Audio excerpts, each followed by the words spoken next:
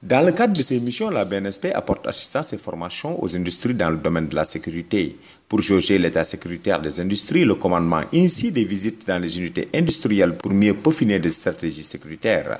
Et Kiren débute cette série de visites. En matière de formation, en matière d'assistance, la Brigade nationale des pompiers s'implique beaucoup dans le domaine de la sécurité et notamment la sécurité des unités industrielles qui sont implantées euh, un peu partout sur le territoire national. Il était important pour nous, dans le cadre de nos visites aux structures industrielles, de venir également ici à Kiren. En termes d'usine de production, c'est ici véritablement à Kiren que nous avons euh, commencé. Pour nous, l'essentiel était surtout de nous rendre compte de ce que Kiren a pris comme mesure en termes de sécurité. Formé gratuitement et régulièrement par la BNSP en matière de sécurité, Kiren, connu par son nom, mais qui prend de l'envol dans le jus et le lait, salue la visite du général. La partie sécuritaire euh, a énormément évolué chez nous, au travers d'abord d'une collaboration franche et étroite, euh, de, de, formation euh, régulière dans nos, dans nos services, parce que c'est ce qui nous donne une vraie valeur ajoutée